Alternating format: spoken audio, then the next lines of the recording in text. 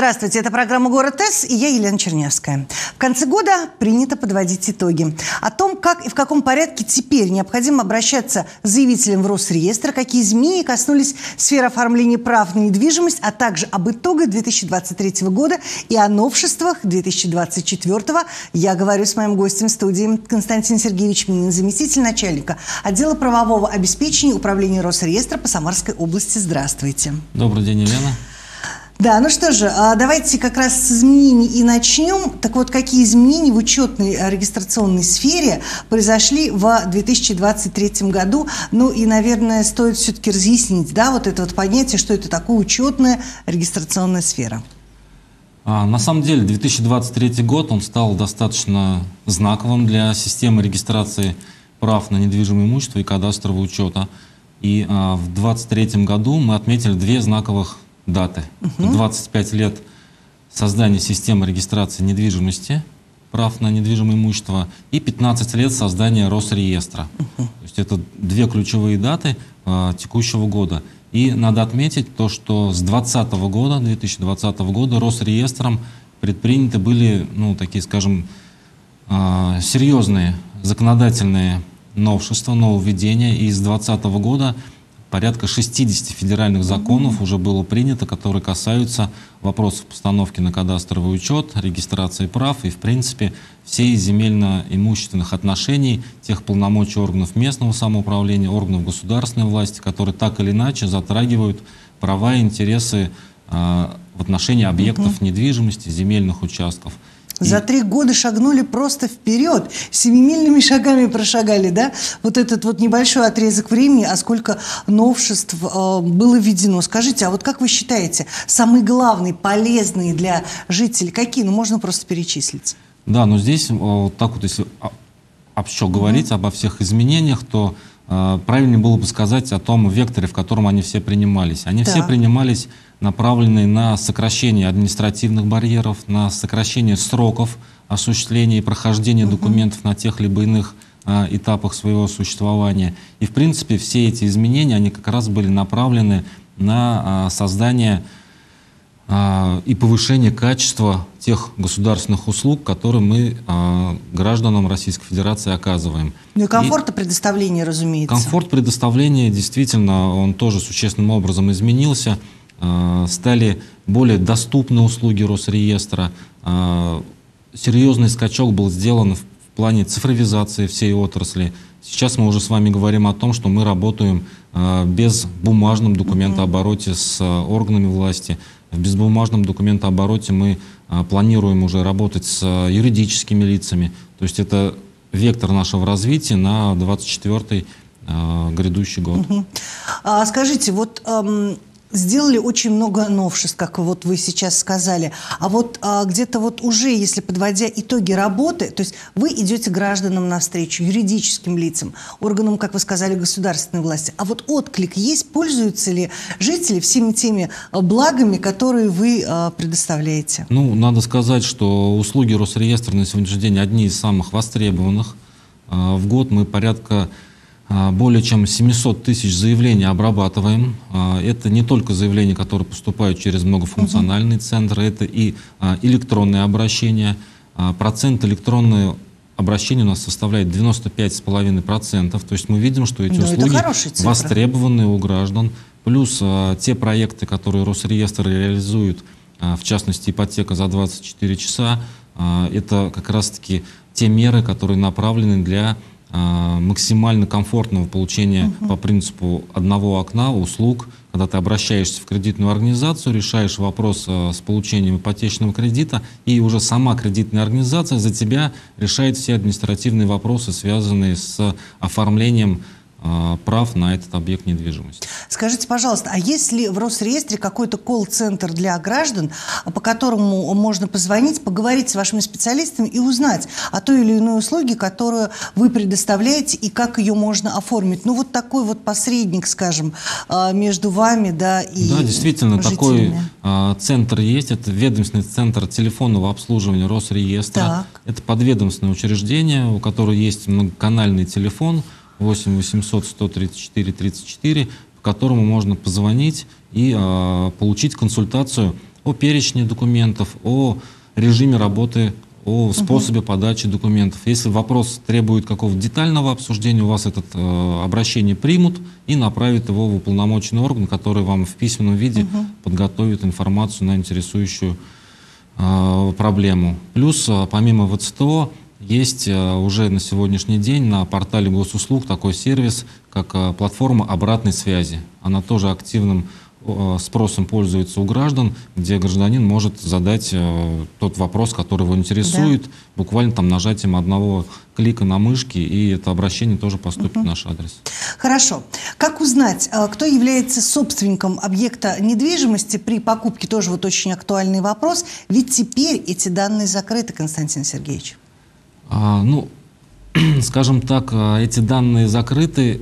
Это сделано не а, во вред, это сделано, наоборот, на пользу, на защиту персональных данных о правообладателе. И действительно, вот эта сфера персональных данных в сфере недвижимости всегда вызывала массу вопросов. Uh-huh. Да, и а, у нас существовали и существуют на сегодняшний день две нормы в законе о регистрации недвижимости, которые регламентируют процедуру предоставления сведений. А, вопрос получения сведения об объекте недвижимости его надо рассматривать с двух ракурсов. Да? То есть это когда а, вы желаете получить общедоступную информацию об объекте недвижимости, она, к слову сказать, по закону является общедоступной. Где располагается Что объект? Что таит себе эта информация? Да, это есть... информация об объекте. Где он находится, Адрес? какие его характеристики, угу. адресная часть. А вот все, что касается персональных данных, кто является ну, то есть правообладателем. Имя, фамилия владельца, да? Имя, фамилия владельца документы основания возникновения права, регистрации угу. права. Это уже сведения а, конфиденциального характера, и они предоставляются по запросу ограниченного круга лиц.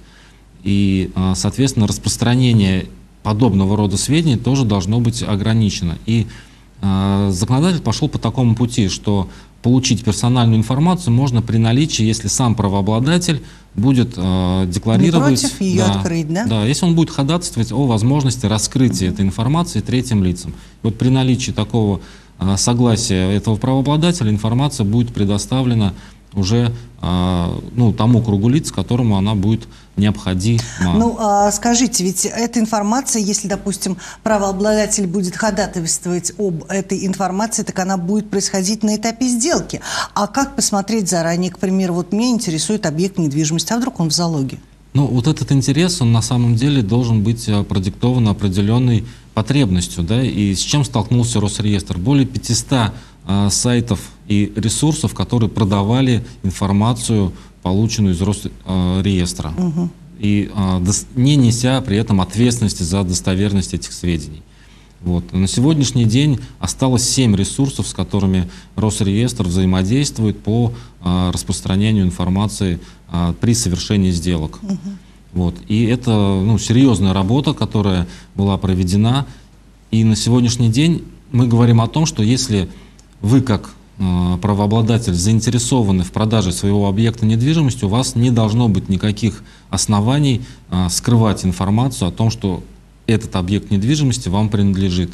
И э, выстраивая взаимодействие с потенциальным покупателем, у вас у самого является ну, присутствует прямая заинтересованность предоставить максимальную информацию о том, что объект не обременен, Конечно. что нет запретов, что вы действительный правообладатель, вот такие документы основания служили э, регистрации права. Угу. И э, тут даже говорить о согласии, собственно, и не приходится. Вы, как продавец, напрямую заинтересованы дать всю Конечно, полную информацию. чтобы продать объект, который... А, вопрос да, достоверности подлежит. этих сведений тоже Росреестром был предметом рассмотрения. И теперь, когда вы получаете выписку об объекте недвижимости, на этой выписке у вас будет наличествовать QR-код, отсканировав да. который, вы проверите, что это... Это тоже выпуск, новшество, да? Это тоже новшество 23 года. Э, этот QR-код подтвердит действительность этой выписки. То, что в ней информация э, актуальная, и то, что эта выписка действительно выдавалась. Угу. То есть мы исключаем вопрос поддельных выписок, которым Ну а выписку возникает. эту, соответственно, можно получить только в Росреестре. Эта выписка, да, предоставляется в Рос, Росреестром, подведомственным его учреждением угу. Роскадастр. А получить выписки можно либо при обращении в многофункциональный центр, либо воспользовавшись электронными сервисами портала госуслуг. Вот, кстати, часто пользуются жители э, такой услугой, заказывают выписки? Выписки заказывают э, там в большом количестве, угу. сейчас не буду э, с цифрами, э, ну, боюсь ошибиться с цифрами, но то, что это несколько десятков э, в минуту этих выписок запрашиваются, так угу. оно и есть. Хорошо. Почему необходимо регистрировать ранее возникшее право на недвижимость? Объясните, пожалуйста. Вот э, если вернуться к началу нашего э, с вами встречи, да, я говорил о том, что мы отмечаем 23 года системы создания угу. регистрации недвижимости. За этот период времени реестрами объектов недвижимости, реестрами прав на объекты недвижимости занимались разные структуры ведомства. С 2020 года э, все эти э, реестры были объединены в единый государственный реестр угу. недвижимости. И э, мы столкнулись с ситуацией, когда в реестре эти сведения либо устарели, либо эти сведения неполные. Сведения о ранее возникших правах до нас, в принципе, в ряде случаев не дошли. То есть у граждан есть договора о приватизации, есть старые свидетельства на землю, но в реестр, э, государственный реестр недвижимости Они эти не информация не внесена. Законодательство говорит о том, что ваши права, да, они актуальны, действительны, э, не подлежат переоформлению, но сведениями о них не располагают органы власти, сведениями о них не располагают смежные э, владельцы земельных участков. Угу. И когда возникают э, вопросы, допустим, у органов местного самоуправления, связанные с инфраструктурными проектами, нужно проложить дорогу, да. какой-то сформировать земельный участок для строительства угу объектов там, малоэтажного строительства. А, находится территория, по данным реестра там нет никаких третьих лиц, а по факту выявляется, что там они есть, у людей есть документы, либо же это вопрос с расселением граждан из ветхого аварийного жилья. А, Росре... Органы власти основываются на данных Росреестра. Они заказывают выписку, видят, у кого права зарегистрированы. А те Э, люди, те граждане, чьи права являются ранее возникшими, эти сведения не внесены. Они как бы ну, выпадают. Константин Сергеевич, я вас а, прекрасно понимаю, и все это логично, но а, скажите мне, пожалуйста, вот что, такие случаи действительно были в реале, когда все дело доходило до логического конца, и, как вы сказали, нужно было там проложить дорогу или построить дом. Но документы документами, а ногами-то сходить никогда не лишнее. Вот. Это, конечно, зона ответственности органов местного самоуправления, органов государственной власти, которые тоже должны выйти а, на место и все да, это удостовериться. Убедиться, конечно, своими глазами. Но все же а, как бы уже работают в юридической сфере, да, и а, работают с документами, и под каждое решение должны быть документально подтверждены те либо иные обстоятельства. И вот, соответственно, если а, у человека есть на руках ранее возникшие права, то он и эти права не содержатся в едином государственном реестре недвижимости, он несет определенные риски, связанные с тем, что у него возникнут да. вопросы, споры с органами власти. Он э, будет решать вопрос э, с размерами компенсации, либо в принципе может лишиться этой компенсации из-за того, что сведения о нем не были внесены, mm. и орган не располагал этой информацией о таких правах. Ну хорошо, какой же выход из данной ситуации? И как понять, внесены ли а, твои данные о твоем объекте недвижимости в Росреестр? Да, это как раз процесс а, получения информации. Вы можете запросить сведения из реестра недвижимости по адресу объекта, по а, своим персональным данным увидеть, какая информация в реестре о ваших объектах содержится. Если вы там не находите своего объекта, либо находите иной объект, который у вас числится, это как раз сигнал к тому, чтобы задуматься, что здесь а, в данных реестра нужно сведения актуализировать. Причиной этому могут быть разные обстоятельства, и не всегда это является ошибкой регистрирующего органа. Опять же, повторюсь, вот эта вот синхронизация разных реестров в разное время, она а, ну, как бы допускает возможность что сведения требуют о своей актуализации. А вот, кстати, кому в первую очередь стоит задуматься, внесен ли их объект в Регистрационный учет в Росреестр. Это может быть владельцы дач, либо каких-то поселков, либо, не знаю, частного сектора. Кому в первую очередь стоит ну, задуматься? Ну, наверное, по практике я скажу, И что... какие года, кстати? Да, это у нас года, все, что до 1998 года. Постройки? За, да, за период там, с 92 по 98 года, как правило, у нас шла угу. активный процесс а, приватизации а, земли и приватизации жилых помещений. То есть это, по сути, собственники а, объектов недвижимости, которые возведены а, до 98 -го года. года. Да, ну, можно чуть-чуть еще и выше период взять, но это уже особенности, там, касающиеся гаражной амнистии, да, она до 2004 года объекта недвижимости. Это объекты а, ИЖС на садовых, огороднических а, и участках личного подсобного хозяйства до 91 года. То есть это, как правило, все старые года постройки с, со старыми документами. Ну уж не такие старые, 98 а, год. В целом для объекта недвижимости они, наверное, не старые, но вот здесь тоже как бы совет, лайфхак для угу. наших э, зрителей. Э, у нас сегодня у каждого практически есть учетная да? запись э, на госуслугах. И на сайте э, Росреестра есть такой сервис «Личный кабинет правообладателя». Угу.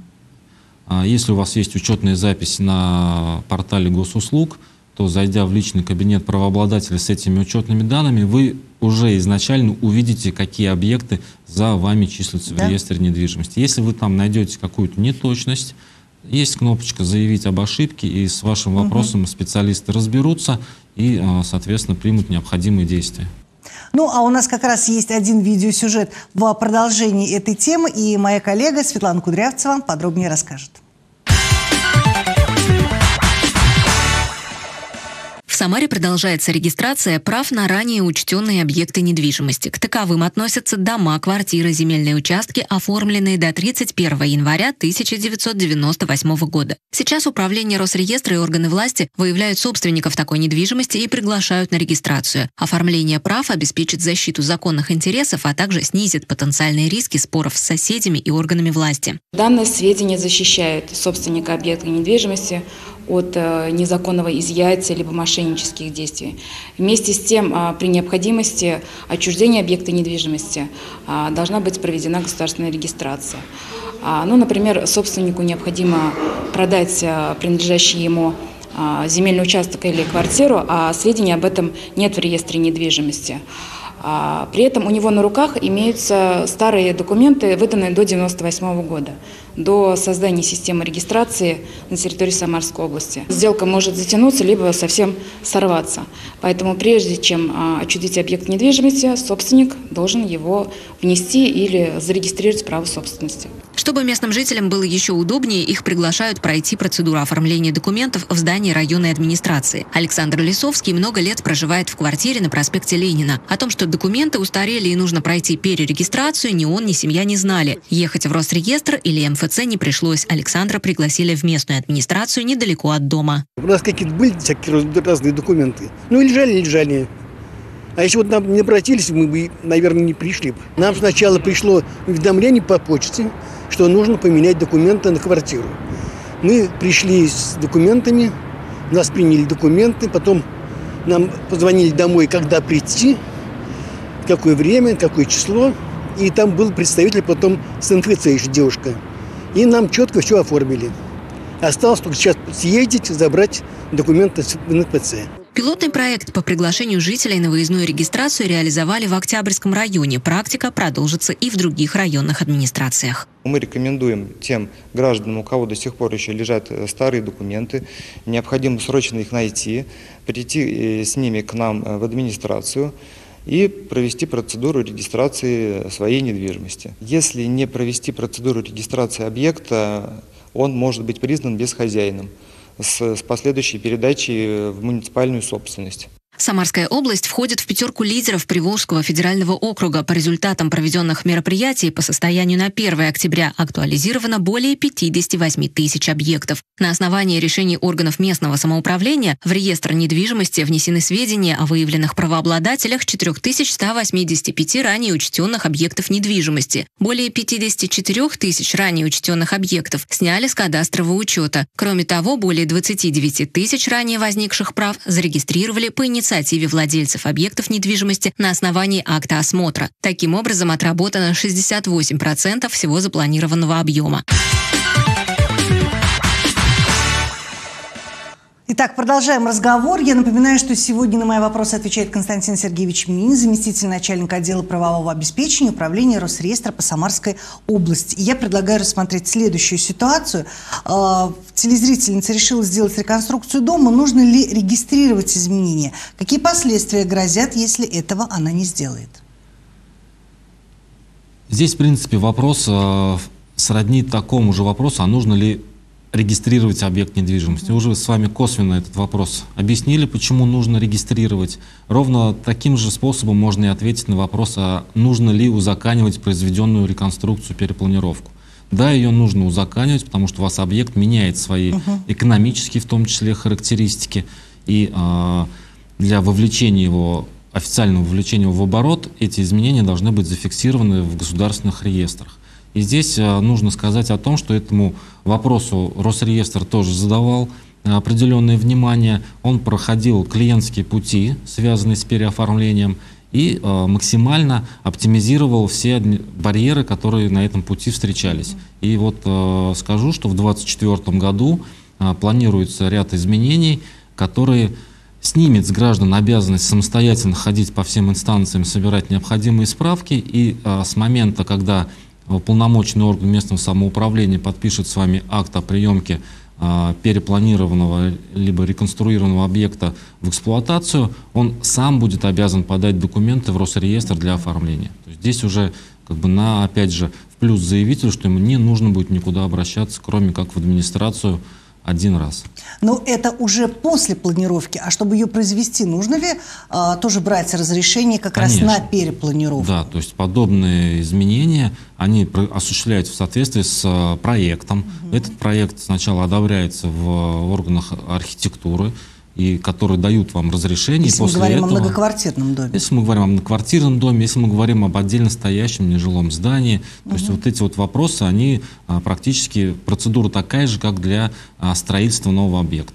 Хорошо, продолжаем дальше. Вот а, такой тоже вопрос. Может ли быть препятствием для оформления права на жилой дом наличие в границах экранной зоны линии а, электропередач, ну, то есть ЛЭП по-простому? Да, на сегодняшний день у нас в реестре э, активно наполняется информация обо всех существующих зонах с особыми условиями использования территории. Э, это все возможные охранные зоны, в том числе охранные зоны ЛЭП, охранные зоны трубопроводов, водопроводов, э, всевозможные зоны подтопления э, и иные зоны с особыми условиями использования территории. Надо сказать, что... При аэродромной территории, При аэродромной, же, да? в том числе, территории, да. Надо сказать о том, что э, как вечное право, как право собственности, подобные сведения они не ограничивают. То есть э, объект, он продолжает э, право оборачиваться в гражданском обороте. Но хозяйственную деятельность на территории, э, которая попадает в этот ЗОИД, зону с особыми условиями использования территории, она ограничивает. То есть ты законный владелец, но тебе ограничено разрешено вести хозяйственную деятельность на этой территории. В частности, в зоне э, охранной зоне линии электропередач э, существуют ограничения по высоте строительства, либо в принципе по строительству объектов капитального э, строительства. То есть что-то на нем возвести нельзя. Ты можешь э, осуществлять посадку там, плодово-ягодных деревьев, но вот строить дома на этой охранной зоне ты не можешь, ну, к примеру. Да. Так, ну а если все-таки был дом разрушен или снесен, какие действия нужно произвести, чтобы снять его с учета? Понятно, что а, каждый объект недвижимости на нем находится.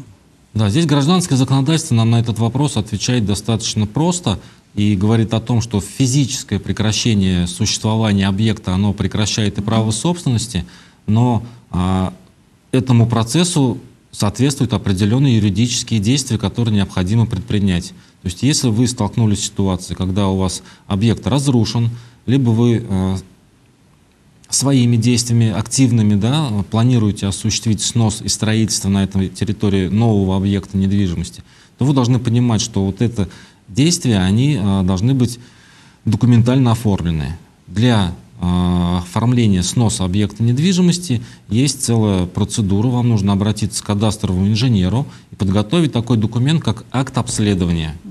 Этот документ зафиксирует э, прекращение существования объекта недвижимости. Этот документ будет являться для внесения э, сведений в реестр о а, прекращение существования такого-то кадастрового номера, и по завершению вы будете смело уверены в том, что этого объекта больше на учете нет – и, соответственно, никаких вопросов вам по нему больше не должно И вступать. даже нужно это делать, если, к примеру, ты сносишь старый дом на своей земле и планируешь вот прям сразу, а после сноса строить новый. Тем не менее, нужно эти действия произвести. Обязательно их нужно произвести, потому что у нас есть э, правила землепользования застройки, есть градостроительные регламенты, в которых зафиксированы определенные параметры застройки земельного участка. Да? Если у вас на земельном участке по данным реестра будет числиться а, объект недвижимости площадью там, 100 метров, а вы еще 200 метров построили, то эти площади будут суммироваться, и вы можете превысить допустимый э, параметр застройки земельного участка. Но по месту у вас 100-метрового объекта, допустим, нету. Естественно, вам нужно этот объект снимать с учета, чтобы э, данные о нем больше на земельном участке не отражались. А, хорошо, спасибо большое. Я предлагаю в нашем сегодняшнем эфире еще раз напомнить о гаражной амнистии и как собственнику гаража понять, что гаражная амнистия, собственно, его касается. А здесь, да, надо напомнить о том, что гаражная амнистия, она распространяется на объекты капитального строительства, то есть это не а, металлические гаражи, это не гаражи-ракушки, это не гаражи, которые располагаются в зданиях а, многоэтажных гаражных комплексов, это не гаражи, не парковочные места, которые располагаются в многоквартирных домах, в торговых офисных mm-hmm. зданиях. То есть это все э, одноэтажные, как правило, гаражи, имеющие капитальные стены, фундамент – Плюс ко всему, закон о гаражной амнистии распространил свое действие на так называемые ленточные гаражи, которые могут не иметь э, металли, э, ну, то есть могут не иметь кирпичных стен, но быть сваренные одной крышей, иметь металлические э, стены на капитальном фундаменте, но все они в одну ленту выстроены ну, и находятся... такие гаражи узнать легко. Их очень да, легко Конечно. узнать, они во многих районах нашего города представлены. И ключевой момент, то, что они должны быть возведены до, 2000, э, до декабря 2004 года, то есть до вступления в силу градостроительного кодекса. Если ваш объект под эти параметры попадает, э, вы можете рассчитывать на гаражную амнистию. Напомню, гаражная амнистия, она позволяет бесплатно оформить земельный участок и располагающийся на нем гараж. И с э, октября 2023 угу. года законодательство о гаражной амнистии было расширено, и появилась законодательная возможность оформить даже те гаражи, которые находятся в полосе отвода железных дорог. А у нас в Самаре достаточно да. большое количество гаражей находится как раз угу. рядом с железной дорогой. Если для этих граждан предыдущая редакция закона о гаражной амнистии не позволяла оформить земельные участки то в собственность, сейчас милости то сейчас просим. можно да. это все делать. Ну что ж, у нас с вами прям буквально пару минут осталось до конца разговора. А о новшествах и изменениях в законодательстве в сфере недвижимости в 2024 году мы не сказали, поэтому я попрошу вас озвучить коротко и основные из них. А, если говорить коротко, мы, наверное, тогда расскажем это вот по тем принципам, по которым в 2024 году планируется изменение законодательства. На сегодняшний день у Росреестра в пакете законопроектов порядка 14 документов, которые планируется принять вот в ближайшее время, либо в течение 2024 года. Один из таких принципов – это принцип «построил, оформи». То есть мы исключаем ситуации, когда объект, а, возведенный на земельном участке, не имеет своего правообладателя. То есть построил, оформи. Mm-hmm. А второй принцип – это нет оборота земельным участкам, не имеющим сведения о границах. То есть все земельные участки должны иметь сведения о границах. Отсутствие сведений о границах будет препятствовать совершению сделок. Дарения, купли-продажи, залога. То есть все земли должны быть э, с границами. Третий принцип – это подача документов юридическими лицами в электронном виде. То есть мы уходим на следующий этап цифровизации, когда не только банки – и а, страховые нотариусы органы власти будут подавать нам в электронном виде, но и все любые юридические лица будут подавать документы исключительно в электронном угу. виде. И, а, собственно, а, следующий принцип, по которому будет меняться законодательство, это застройщик всегда оформляет задольщика. То есть наше многоэтажное долевое участие в строительстве будет идти по принципу, когда а, сам застройщик будет заинтересован и даже обязан будет оформить права граждан на те помещения, которые строились за счет привлечения средств участников долевого строительства. Ну что же, спасибо вам большое. Столько сегодня новостей вы озвучили в нашем эфире. Ну, о новшествах 2024 года. Я уверена, мы с вами встретимся в новом году и более подробно, конечно, о них расскажем. Спасибо всем тем, кто был сегодня с нами. Вы смотрели программу «Город С». Всего хорошего вам. До свидания.